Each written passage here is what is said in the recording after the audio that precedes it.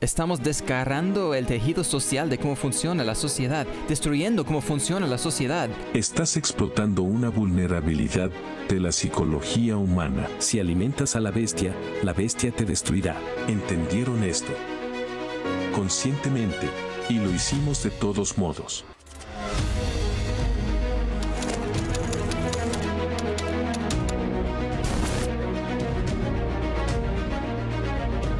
Bienvenidos de nuevo a Desconexión Digital. Este es el episodio 4 de 13 titulado Redes Antisociales. Y tú dirás, bueno, he oído hablar de las redes sociales. ¿Qué es eso de las redes antisociales? En la primera sesión vimos que cuanto más multimedia consumas, incluyendo las redes sociales, más solo te sentirás. Y vamos a ver más de la dinámica psicológica.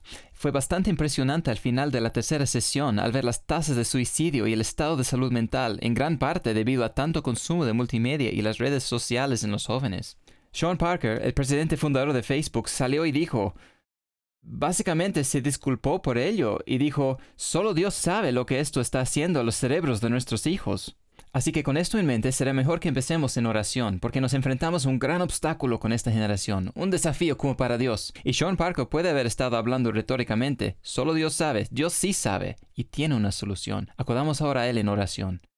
Padre Celestial, al comenzar este estudio sobre las redes sociales y los jóvenes y adultos, pedimos tu sabiduría y claridad de pensamiento, que encontremos el equilibrio adecuado en nuestro uso de la multimedia, que traiga gloria a ti y alegría a nuestras vidas y con quienes nos relacionamos. En el nombre de Jesús oramos. Amén.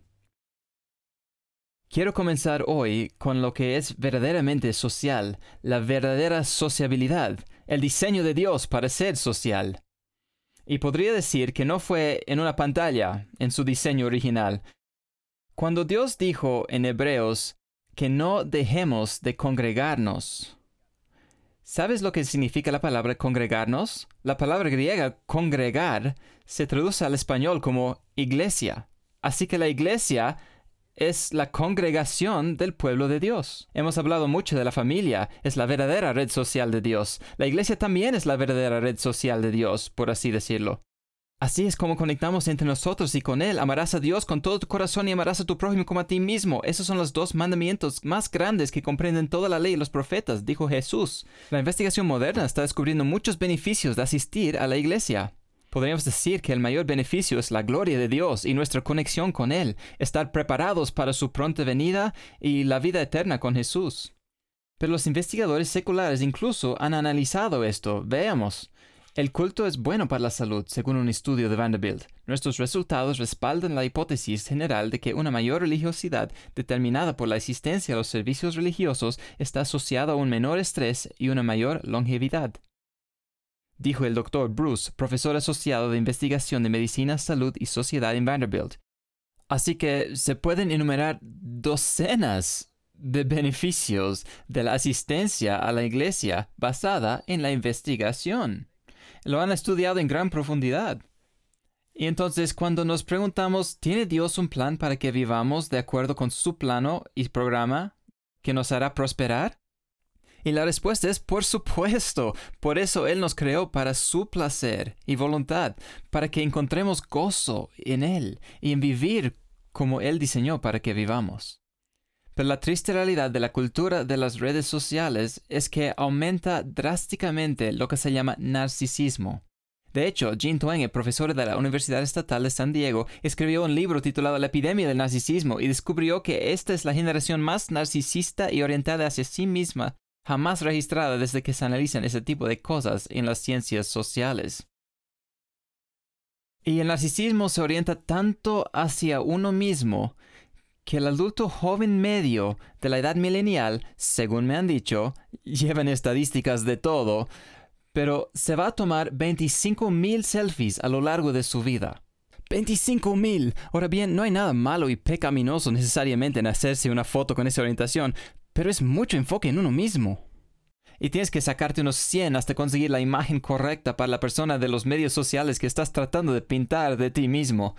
Me pregunto si hay algo más en juego aquí que solo narcisismo, porque si nos fijamos en el aumento de las cirugías plásticas, 200.000 adolescentes en Estados Unidos se sometieron a cirugía plástica recientemente, según los médicos Cho y otros de la Sociedad Americana de Cirugía Plástica.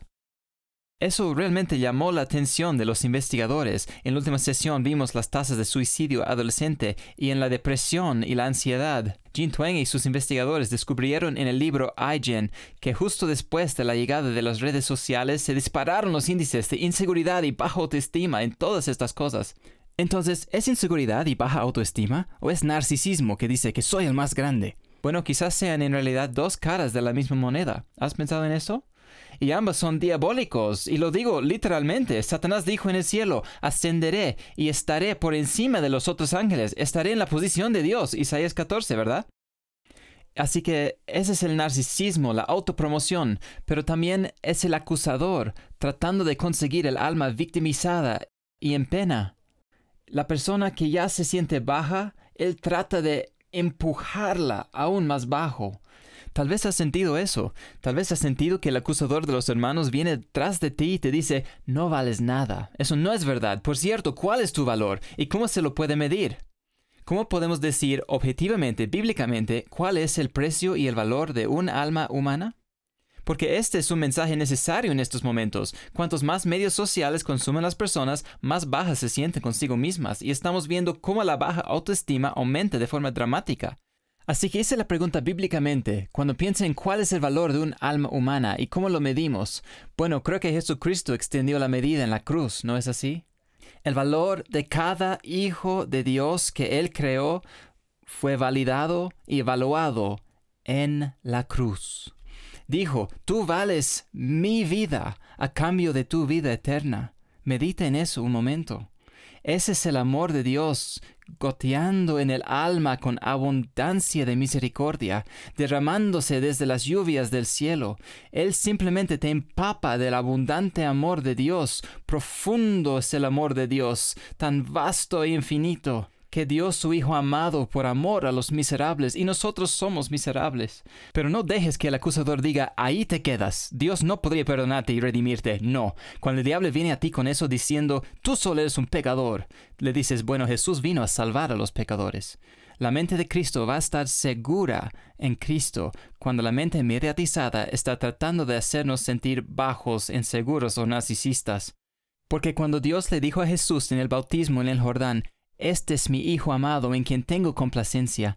Uno de mis libros favoritos, El deseado de todas las gentes, dice que cuando estamos en Cristo, puesto que somos una nueva creación y es Cristo en nosotros, la esperanza de gloria, y tenemos la justicia de Cristo cuando nos hemos arrepentido y confesado nuestros pecados, entonces esas palabras se pronuncian sobre nosotros.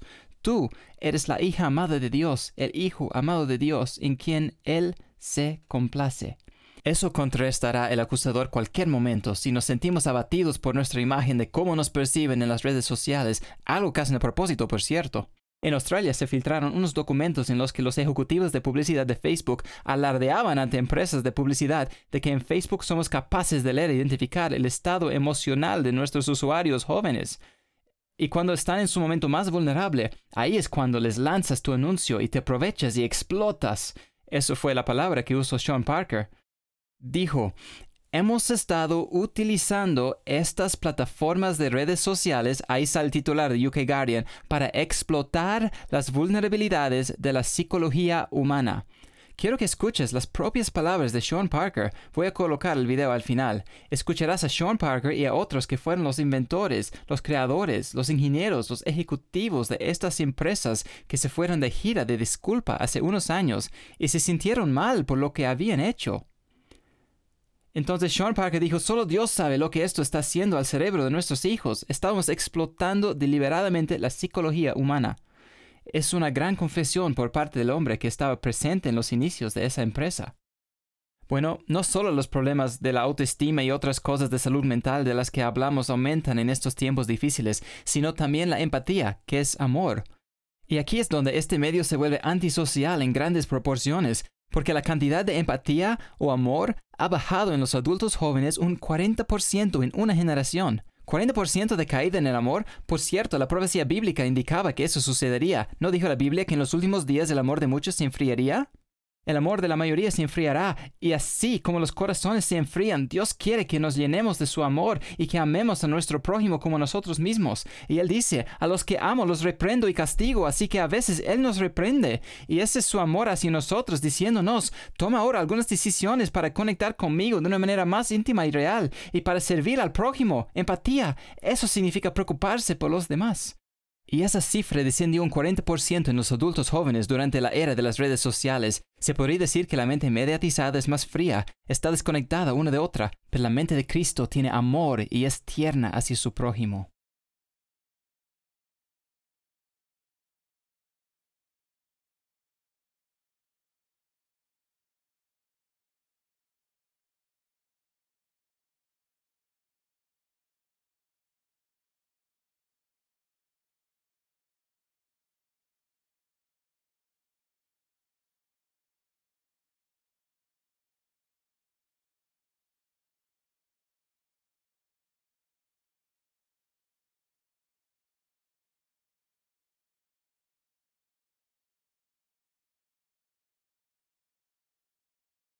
También hubo un grupo de control que hizo exactamente lo mismo, pero no se permitían teléfonos en el encuentro para conocerse. Solo deja un cuaderno sobre la mesa en lugar de un teléfono y dejar los teléfonos en la otra habitación. Así que tienes a un grupo de personas conociéndose con un teléfono sentado ahí que no está siendo utilizado y tienes un grupo de personas conociéndose que no tienen sus teléfonos en la habitación. Podrías decir, Scott, no va a haber ninguna diferencia entre los dos porque el teléfono ni siquiera se está utilizando. Amigos míos, incluso la presencia de teléfono en ese compromiso social redujo la calidad de ese vínculo que se forjó entre esos dos. Solo la presencia de nuestros dispositivos. Ahora, si piensas en esto en tu propia vida personal, si alguien está agarrando su teléfono mientras estás sentado ahí, ya sabes, puede tomar el lugar de la conversación que está teniendo conmigo en ese momento y podrías sentir una conexión de menor calidad con esa persona solo por la presencia del teléfono. Así que tal vez pongamos estas cosas en un gancho como hemos dicho en una sesión anterior. Cuando pensamos en que la mente mediatizada es fría y la mente de Cristo es atenta, realmente me sorprendió. Hicieron estudios sobre los adolescentes preguntándoles cuántos de ustedes preferirían simplemente chatear con sus amigos en sus dispositivos en lugar de reunirse. Ahora, cuando vi la pregunta pensé, bueno, todos los adolescentes quieren pasar tiempo con sus amigos, eso es normal y no siempre es algo bueno. Queremos estar con la familia y reunirnos con otras familias y cosas así. Cuando yo era adolescente era lo único que quería hacer. Saqué mi licencia de conducir para salir y hacer, ya sabes, antes de mi conversión, cosas mundanas. Así que es algo que se observa en las sociedades. Estos adolescentes mundanos podrían estar diciendo, hey, vamos a reunirnos, a ir de fiesta o lo que sea. Dos tercios de los adolescentes prefieren chatear con sus amigos en línea en vez de reunirse. Ahora se podría decir, hay un lado positivo en esto, porque en realidad la promiscuidad ha disminuido, el consumo de alcohol ha disminuido, pero ¿qué está causando esto en términos de la sociabilidad? La capacidad de formar esos lazos y amistades y la inteligencia emocional para la que Dios nos creó. Esa es una parte esencial del trabajo misionero personal y de reflejar la imagen de Dios en el hombre a nuestros semejantes. Bueno, dos tercios de ellos son amigos a los que ni siquiera necesito ver, simplemente chateo con ellos en línea en mi dispositivo. Eso fue algo bastante horrorizante y por eso voy a poner esto en la pantalla. El ex ejecutivo de Facebook dijo que se siente tremendamente culpable por lo que ayudó a hacer. Él dice literalmente, voy a citarlo de memoria, y decía en pocas palabras, estamos destrozando el tejido social de cómo funciona la sociedad. Mejor escucharlo de su propia boca. Estamos literalmente en un punto en el que creo que hemos creado herramientas que están desgarrando el tejido social del funcionamiento de la sociedad. Ahí es donde realmente estamos. Y me gustaría animar a todos ustedes, como futuros líderes del mundo, a interiorizar realmente lo importante que es esto.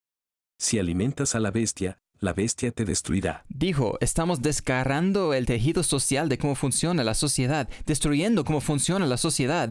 La mente mediatizada es definitivamente desconectada, pero la mente de Cristo es afectuosa. Dios quiere restaurar eso en nosotros. ¿Y cómo funciona la comunicación real mientras estamos en el tema de la verdadera sociabilidad versus las redes antisociales? ¿Cómo funciona la comunicación real de persona a persona que va más allá de un simple mensaje de texto?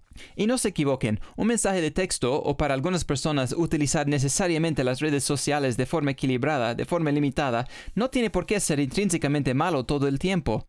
Pero Hay algo que se pierde, incluso en algo inocuo como un mensaje de texto. No tiene el aspecto de en el momento. ¿Y qué quiero decir con eso? La verdadera comunicación es la comunicación plena, es algo más que palabras.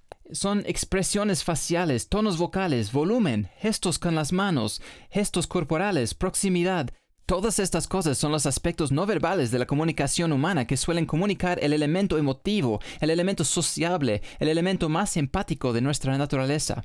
Expresiones faciales, todo eso, ¿verdad? Y cuando solo envías mensajes de texto son solo palabras y también se retrasa. Lo segundo es que cuando tienes esta comunicación emocional, esta conexión emocional, es en el momento. Así que si alguien te dice algo que le entusiasma, se te nota en la cara enseguida y estás ahí en su presencia respondiendo al momento o algo trágico y triste y te acercas y pones un brazo alrededor o lo que sea. La verdadera comunicación es una comunicación plena que va más allá de las palabras, es una fusión de las emociones en el momento y también hay un momento de saludo y despedida que valida el tiempo de sociabilidad que han pasado juntos. La conexión relacional que has tenido es el apretón de manos, el saludo, el abrazo, lo que sea que hacen en la cultura para validar a la otra persona.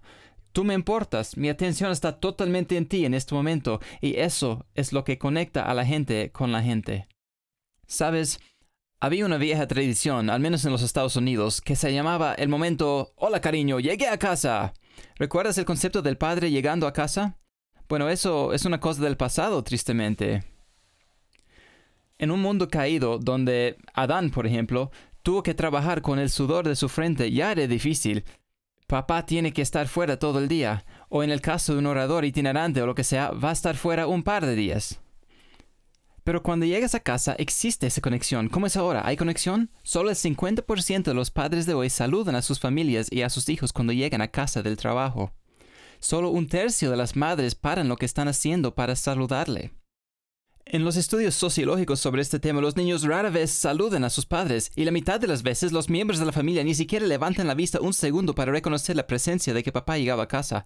Eso va a pasar factura. También pasa factura de otras maneras. No solo los videojuegos y entretenimiento infantil hiperestimulante, pero incluso el uso de los celulares encendiéndose y apagándose todo el tiempo. Mira esta imagen en la pantalla. Dejar el teléfono puede ayudarte a vivir más. Habla del estrés porque dice que los niveles de cortisol se elevan cuando el teléfono está a la vista o cerca, o cuando lo oyes, o incluso cuando crees que lo oyes, dice el investigador. Y continúa diciendo que es una respuesta al estrés y que los niveles crónicamente elevados de cortisol por estrés se han relacionado con un mayor riesgo de problemas de salud graves como la depresión y la obesidad.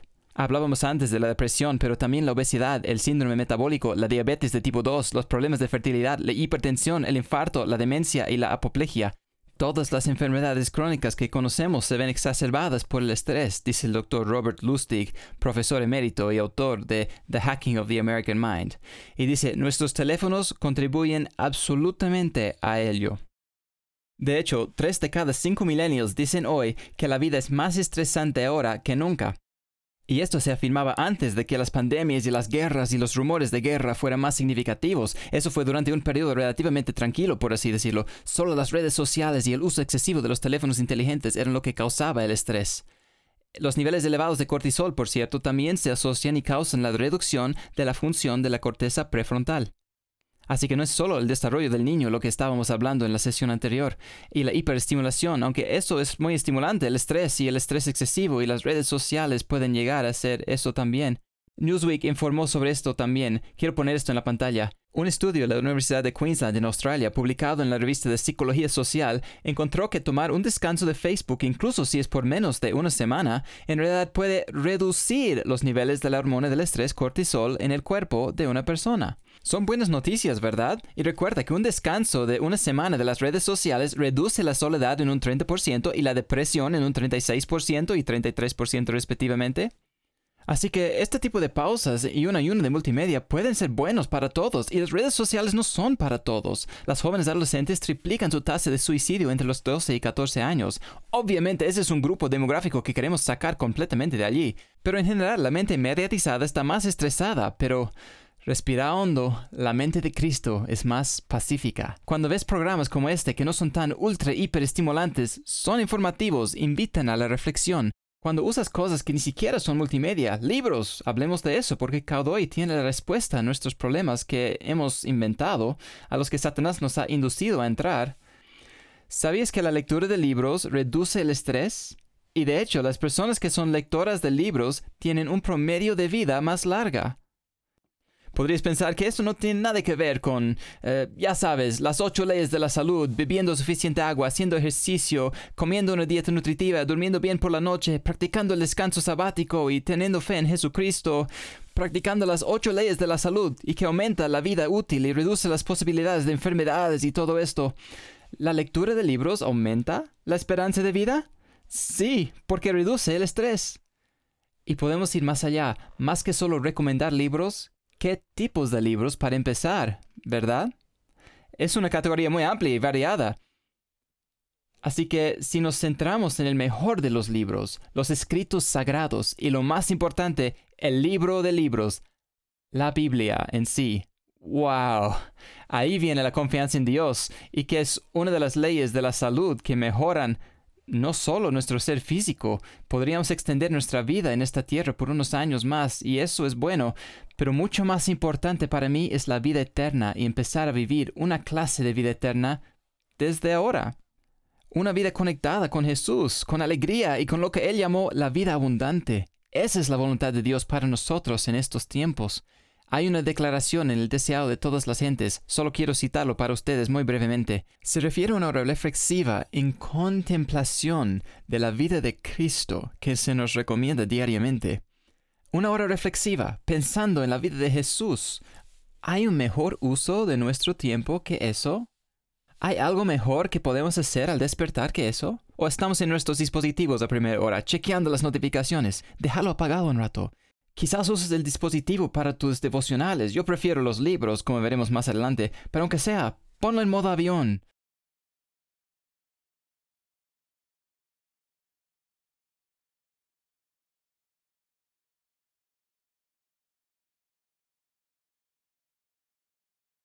Simplemente leer libros.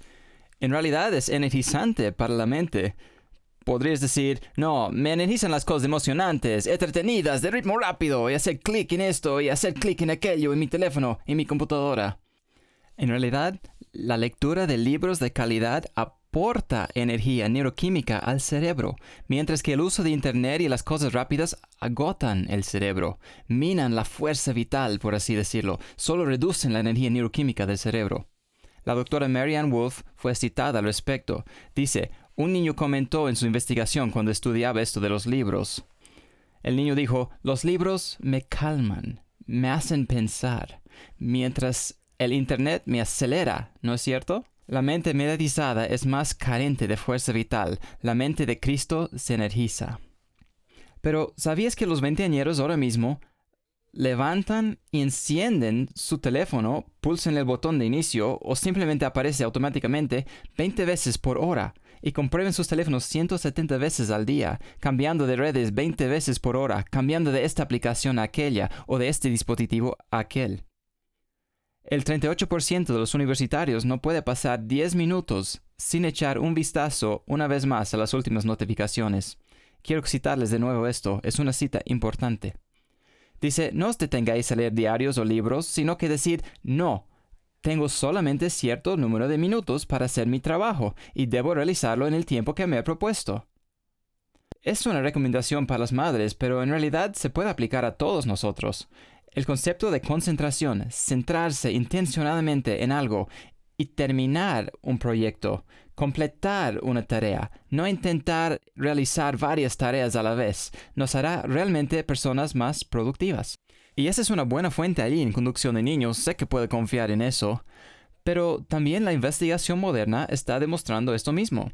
Se está demostrando que cuando las personas intentan realizar varias tareas a la vez, en realidad pierden velocidad, pierden eficacia, pierden precisión. La multitarea no aumenta la productividad. Y sé que podría estar revelando algo inaudito porque mucha gente piensa, yo sí puedo. Bueno, depende de lo que entendamos por multitarea. ¿Puedes caminar y masticar chicle al mismo tiempo, metafóricamente hablando? Por supuesto. Si las cosas no requieren la atención centrada, entonces puedes hacer varias cosas simultáneamente, pero las cosas que requieren ese enfoque no se puede hacer malabares con ellos, solo vas a alternar de una a otra, y hay desgaste, hay pérdida de eficiencia, concentración y productividad cuando pasas de una a otra. Así que concéntrate, completa la tarea, dice que no permitas que los libros y papeles que llaman a tu ojo te desvíen de tu objetivo. Cuanto más estas cosas sonando y vibrando ahí que nos llaman la atención cada rato. Vaya, eso sí va a ser una potencial fábrica de distracciones, ¿no? Y se ve en la imagen ahí, por si acaso estamos haciendo referencia a un estudio de la Universidad de Stanford, pero esa señora multitarea de una manera significativa. Y lo que han descubierto es que la multitarea crea una pequeña respuesta de placer en el cerebro, un subidón multitareas como Sherry Turkle lo llamó en el MIT. Pero yo voy a hacer las cosas secuencialmente. Dios hizo el mundo en seis días, descansó el séptimo, mandó a los israelitas a marchar alrededor de la ciudad de Jericó. Ese es el método de Dios, de cómo somos productivos. La mente de Cristo más productiva en su causa y para su propósito, la mente mediatizada simplemente menos productiva. En la Universidad de Stanford, el 100% de los jóvenes pensaban que podrían producir más, ser más eficientes con más multitarea, y todos estaban equivocados. Fue una reducción del 40% de la productividad. Quiero que vean este video. Vamos a escuchar a estos fundadores de las redes sociales y lo que tenían que decir.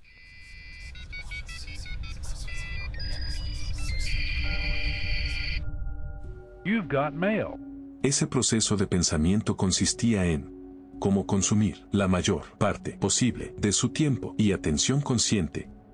Y eso significa que tenemos que darte un pequeño golpe de dopamina de vez en cuando. Estás explotando una vulnerabilidad de la psicología humana. Multimedia militarizados, a eso nos enfrentamos. Las grandes tecnológicas están haciendo todo lo posible para anular nuestra autorregulación. Tu cerebro en Minecraft parece un cerebro drogado. Dice que en realidad es más fácil tratar a un heroinómano que a un verdadero adicto a las pantallas. Son exactamente los mismos métodos de adicción que utilizan las grandes tecnológicas y los casinos. Los inventores, creadores, entendieron esto conscientemente, y lo hicimos de todos modos. Recuerda que cuando venga el enemigo como río, el Espíritu de Jehová levantará bandera contra él. Y recuerda que donde está el Espíritu del Señor, ahí hay libertad. Y lo llamamos teléfono inteligente. Es porque el teléfono es inteligente y no tenemos que ser tan inteligentes para usarlo. Literalmente, no solo está viendo un video, pero echa un vistazo. Oh sí, vamos a navegar por Instagram y ver qué más hay allí. Un chimpancé puede usar las redes sociales. Nunca pensé que vería ese día. Bueno, Google no solo está almacenando nuestros datos por nosotros, sino que va a empezar a hacer nuestro pensamiento por nosotros, y ya lo está haciendo en realidad, y eso nos está atontando drásticamente. Estamos entrando en el siglo XXI en una nueva era oscura, la mayor y más estandarizada y centralizada forma de control de la atención de la historia. La mente de las masas puede moldearse ahora, en el siglo XXI, como nunca antes. Esto es algo que está programando tu mente no tienes el control de tus pensamientos. Cuando te sometes a la manipulación de las grandes tecnológicas, están haciendo lo que Edward Bernays solo podía haber soñado. Por eso hay tanta esperanza cuando Jesús dice, así que si el Hijo os libertare, seréis verdaderamente libres. Así que podemos liberarnos de la manipulación, liberarnos de la adicción y podemos decir, si ya no vivo yo, mas Cristo vive en mí.